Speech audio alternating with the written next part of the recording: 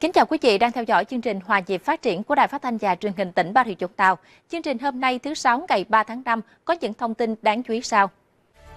Lãnh đạo tỉnh thăm tặng quà các chức sắc Phật giáo tại thị xã Phú Mỹ. Những tiền đề để thị xã Phú Mỹ hướng đến đô thị loại 3. Đất đỏ đổi mới qua 44 năm giải phóng.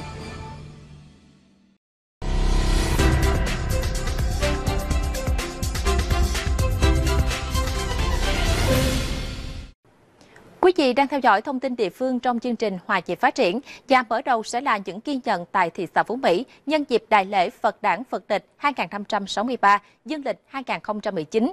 Chiều hôm qua 2 tháng 5, đoàn đại biểu lãnh đạo tỉnh ủy, Hội đồng Nhân dân, Ủy ban Nhân dân, Ủy ban Mặt trận Tổ quốc Việt Nam tỉnh đã đến thăm và chúc mừng Ban trị sự Giáo hội Phật giáo Việt Nam thị xã Phú Mỹ, thăm Đại Đức Thích Duẩn Nghĩa, Phó Ban, Chánh Thư ký Ban trị sự Giáo hội Phật giáo Việt Nam tỉnh, Thượng tọa Thích Thiện Thuận, Thượng tọa Thích Nhuận Trí, Thượng tọa Thích Giác Thông, Phó trưởng ban trị sự Giáo hội Phật giáo Việt Nam tỉnh và Thượng tọa Thích Trơn Quang, Phó ban Kinh tế Tài chính Giáo hội Phật giáo Việt Nam.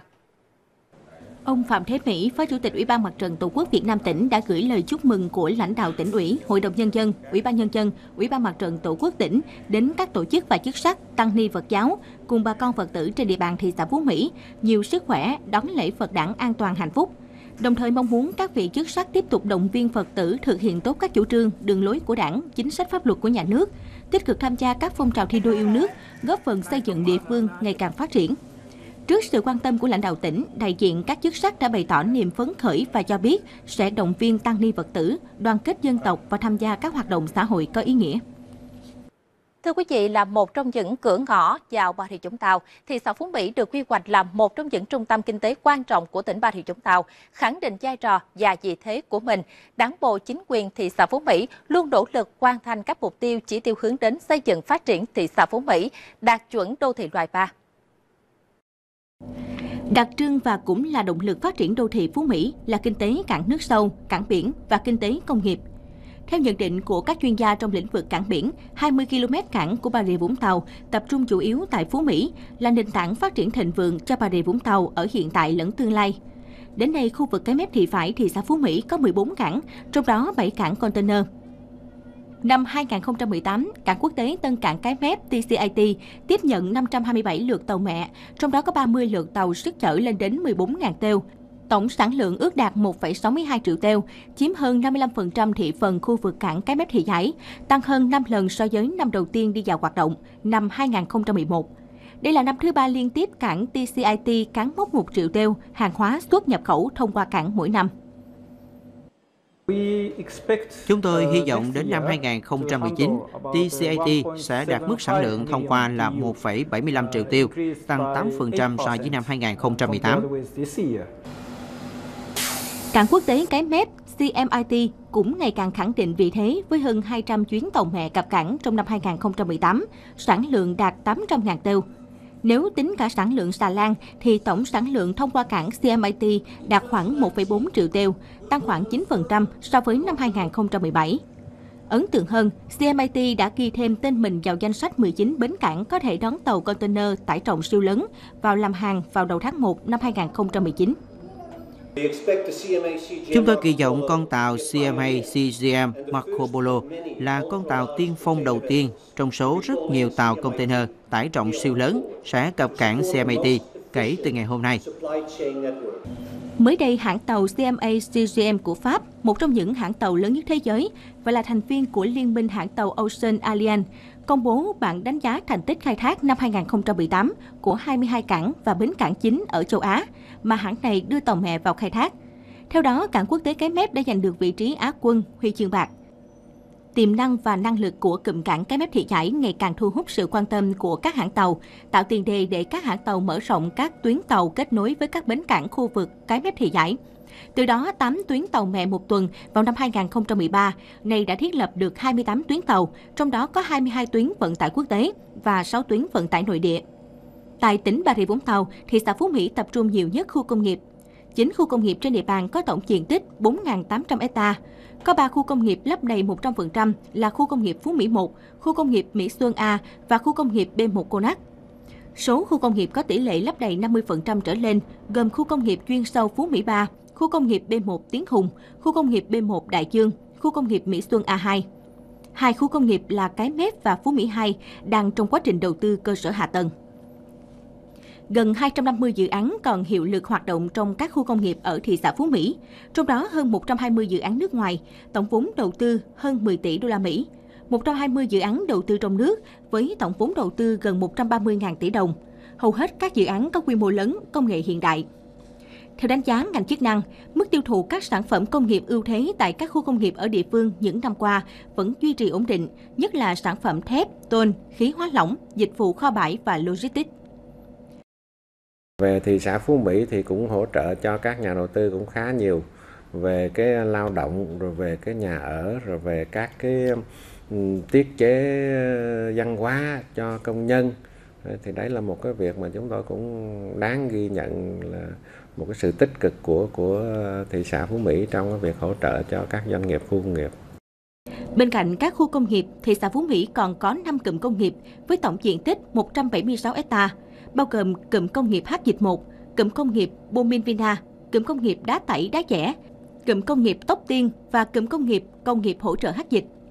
Kết thúc năm 2018, lĩnh vực công nghiệp tiếp tục thể hiện vai trò quan trọng trong cơ cấu kinh tế thị xã Phú Mỹ, với giá trị sản xuất công nghiệp duy trì tốc độ tăng trưởng cao, gần 16% so với năm 2017.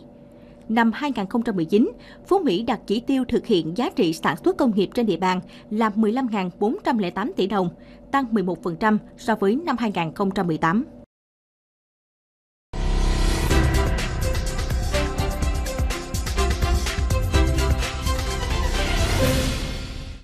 Theo là những thông tin trên địa bàn thành phố Vũng Tàu.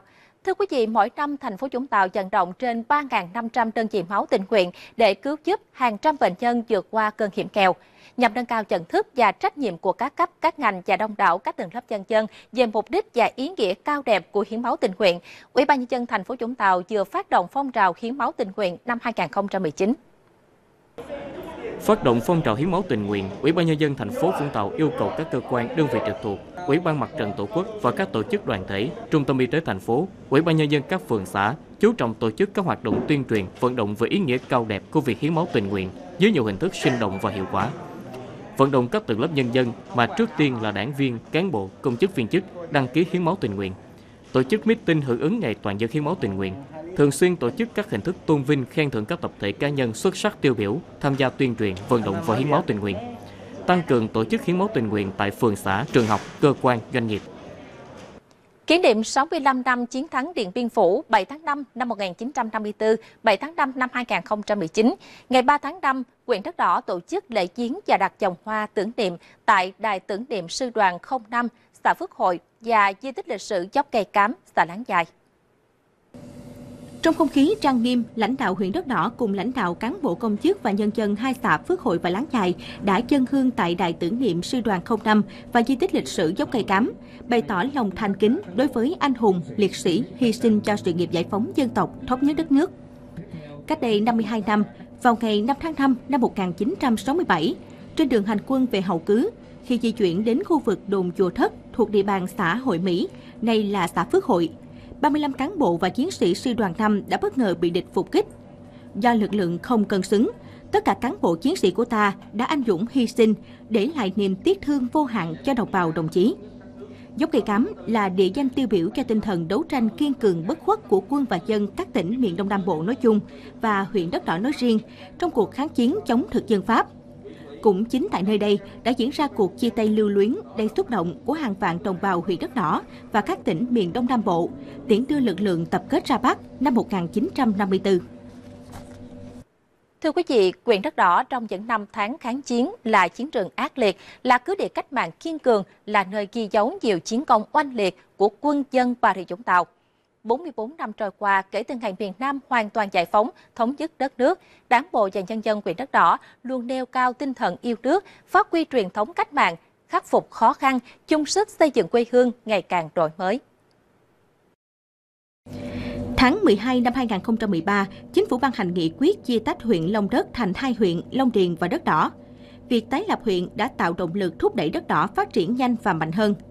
Đến nay, huyện Đất Đỏ đã khai thác hiệu quả lợi thế đặc thù của địa phương như có bờ biển kéo dài, có nhiều di tích danh thắng nổi tiếng, thích hợp để phát triển du lịch lịch sử về nguồn. Hàng năm, sản lượng khai thác thủy sản ở Đất Đỏ rất lớn, với hơn 120.000 tấn. Địa phương cũng được coi là vựa lúa lớn nhất nhì của tỉnh, bình quân hơn 80.000 tấn mỗi năm. Thị trường sản phẩm hàng hóa trên địa bàn ngày càng phong phú, mở rộng, góp phần tăng ngân sách và giải quyết việc làm cho lao động địa phương. Lĩnh vực công nghiệp, tiểu thủ công nghiệp cũng đang hình thành. Đời sống vật chất và tinh thần của nhân dân ngày càng được cải thiện, nâng cao, tỷ lệ hộ nghèo của huyện hiện giảm còn dưới 3%. Trong lĩnh vực văn hóa xã hội, Đảng bộ huyện Đất Đỏ rất coi trọng xây dựng môi trường văn hóa xã hội lành mạnh, xây dựng con người mới thông qua các cuộc vận động, xây dựng nếp sống văn minh, gia đình văn hóa và phong trào toàn dân đoàn kết xây dựng đời sống mới ở khu dân cư. Phong trào xây dựng nhà tình nghĩa, chăm sóc gia đình chính sách, phụng dưỡng mẹ Việt Nam anh hùng đã trở thành nét đẹp trong đời sống của nhân dân. Ờ, nhà nước ờ, hỗ trợ 60 triệu nhà nó khang trang hơn, nhờ làm ăn với cần cù á, thì đời sống của thương binh bây giờ nó tốt hơn trước. So với hồi trước thì nó vất vả lắm bây giờ thì nó khấm khá hơn. Tức là người nào cũng có cơm ăn áo mặc cũng có nhà ở có phương tiện lại hưởng được cái cái cái cái cái cái trợ giúp của nhà nước là trường học rồi bệnh viện ha trạm xá rồi ha, đường xá rồi giao thông cũng tốt đẹp hơn thì được ờ, nhà nước chăm lo và cho chuyển đổi một số ngành nghề để ờ, ờ, trồng cây ăn trái, trồng tiêu, điều các thứ. Từ đó gia đình tôi được nhà nước cố cố kiến cố là gia đình của thương binh liệt sĩ. Mẹ tôi là cũng được là mẹ Việt Nam anh hùng. À, từ đó là tôi cũng tựa cái đó để phát huy làm ăn kinh tế hiện nay rất khấm khá và để lo con cái ăn học đầy đủ. Từ huyện Thuần Đông, tỷ trọng về dịch vụ du lịch và công nghiệp trong cơ cấu kinh tế đất đỏ tăng dần. Thời kỳ đầu, giá trị sản xuất nông nghiệp chiếm gần 49%, thương mại dịch vụ hơn 30%, công nghiệp gần 21%.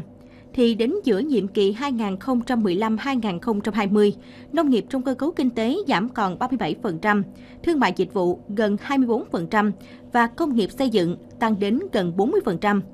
Bước chuyển này đúng với mục tiêu đặt ra trong chiến lược phát triển của đảng bộ, chính quyền huyện Đất Đỏ – lấy hiện đại hóa, công nghiệp hóa, làm đòn bẩy thúc đẩy kinh tế địa phương phát triển bền vững. huyện đất đỏ trong 44 năm qua à, đạt những thành tựu à, đáng kể. À, từ đó phải nói rằng cái hiện nay cái bộ mặt của huyện đã phát triển rõ rệt, nhất là cái cơ sở hạ tầng đường xá, các cơ sở phúc lợi xã hội, giáo dục, y tế, đường điện phải nói là khá khang trang đáp ứng yêu cầu đi lại của nhân dân. À, đảng bộ đã chấn chỉnh à, từng bước cái nề nếp làm việc của cán bộ công chức viên chức à, rồi tinh giảm biên chế rồi sắp xếp lại đội ngũ cán bộ đảm bảo vừa hồng vừa chuyên để thực hiện tốt cái nhiệm vụ của mình. Ngoài bảo của, của nhân dân đó là xây dựng huyện đỏ ngày một giàu đẹp văn minh. Bằng sự quyết tâm cao của cả hệ thống chính trị sự đồng thuận của nhân dân kinh tế xã hội của huyện đất đỏ đã phát triển vượt bậc để tạo nên bước đột phá mới trong tiến trình phát triển kinh tế xã hội ở Bà Rịa Vũng Tàu, đồng thời tạo thêm nguồn lực to lớn để đất đỏ tiếp tục vững bước trên chặng đường mới. Kế tục xứng đáng với những thành quả mà cha ông đã hy sinh biết bao xương máu để dày công vùng đắp.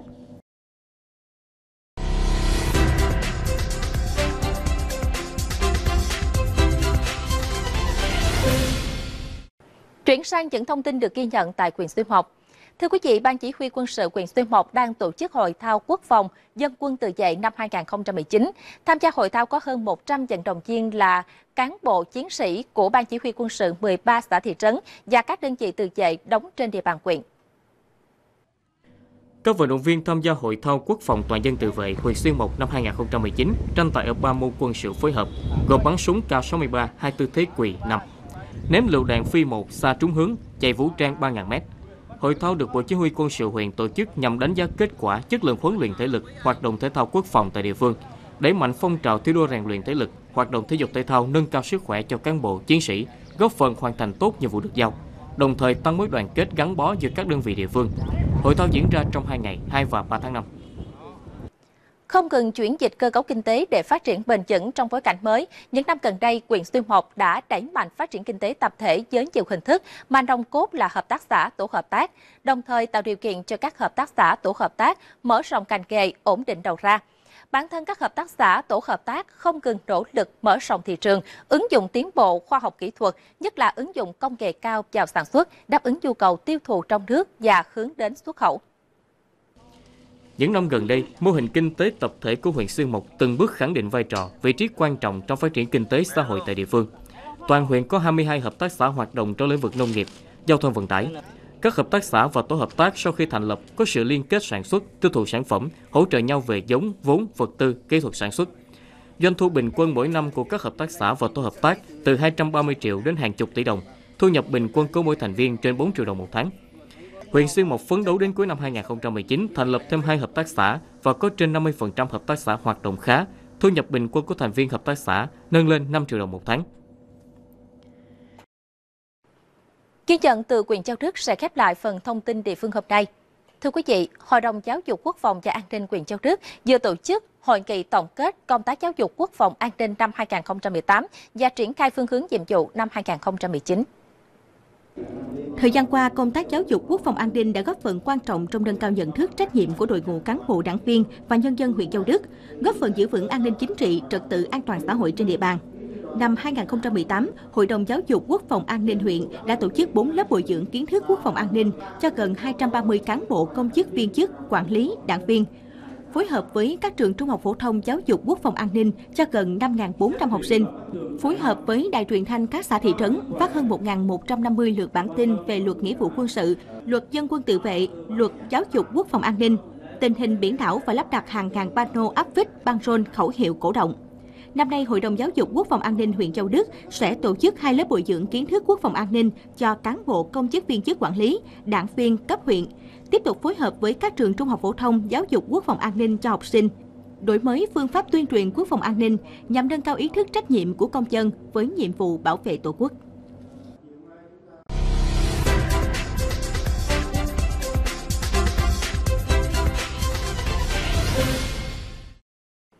Trong câu chuyện đất và người Bà Rịa Vũng Tàu hôm nay, mời quý vị cùng chúng tôi trở lại xã đảo Long Sơn, thành phố Vũng Tàu. dùng đất được mệnh danh là ốc đảo văn hóa của tỉnh Bà Rịa Vũng Tàu. Nhưng khác với những chuyến đi trước, lần này trở lại Long Sơn, chúng ta sẽ tìm hiểu xem miền quê duyên hải này có đặc sản gì ngon và hấp dẫn. Thưa quý vị, theo các nhà khoa học thì Long Sơn là vùng đất có điều kiện tự nhiên thuận lợi, nhiệt độ quanh năm ấm áp, độ mặn thích hợp, mật độ sinh vật phù du phong phú nên được xem là dùng nước lý tưởng để hào phát triển. Sự ưu đại của thiên nhiên cộng với đức tính cần cù chịu khó của cư dân nên Long Sơn không chỉ được biết đến với các lễ hội văn hóa truyền thống mà còn nổi tiếng với đặc sản hào, bởi nơi đây chính là mỏ hào nuôi lớn nhất miền Nam. Chàng cây nuôi hào đã trở thành nghề chính giúp cho xã đảo này ngày một đổi thay. Nghề nuôi hầu ở Long Sơn khởi phát vào khoảng thập niên 90 của thế kỷ trước. Lúc đầu, người dân Long Sơn đóng cừ làm bè nuôi tôm. Thấy hầu đóng nhiều, con to, nên bà con hay dùng để chế biến món ăn hoặc đại khách đến nhà. Dần già, thấy nhiều người khen ngon, bèn nghĩ cách khai thác. Ban đầu bà con nuôi tự phát, và rồi nhà nhà nuôi hầu, nở rộ nhất là từ năm 1999. Nuôi hầu không tốn nhiều tiền và công đầu tư.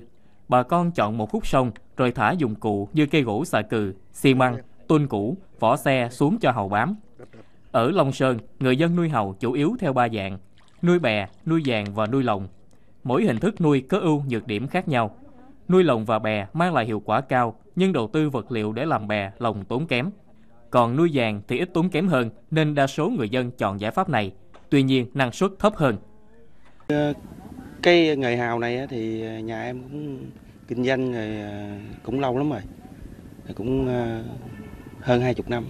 Đây là nghề truyền thống.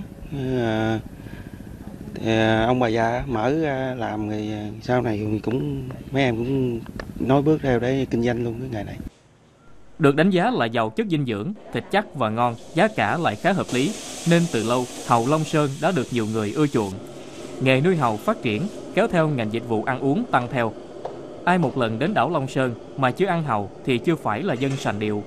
Đấy là câu nói của rất nhiều du khách mỗi khi đến với Long Sơn. Và thực tế, các món ăn được chế biến từ hàu ở Long Sơn đều có sức hấp dẫn. Hàu thì nó là cái nguồn vào giàu chất dinh dưỡng mà nó là cái à, món đặc sản của à, của xã Long Sơn.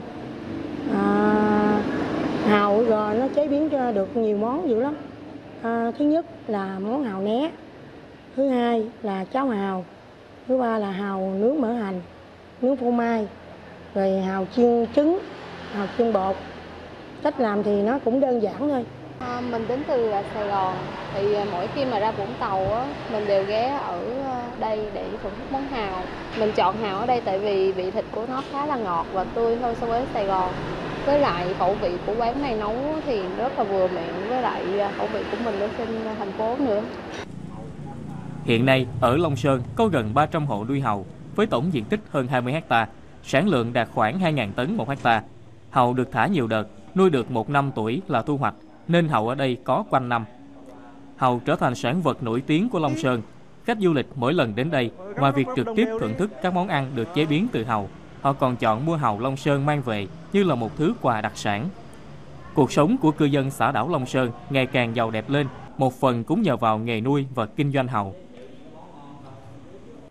Chương trình Hoàn Chị phát triển trưa nay đến đây xin được tạm dừng. Cảm ơn sự quan tâm theo dõi của quý vị. Rất mong đón nhận sự quan tâm theo dõi của quý vị trong những thông tin thời sự tiếp theo vào các khung giờ 14 giờ 50 phút, 18 giờ, 18 giờ 30 phút và 21 giờ 50 phút trong ngày.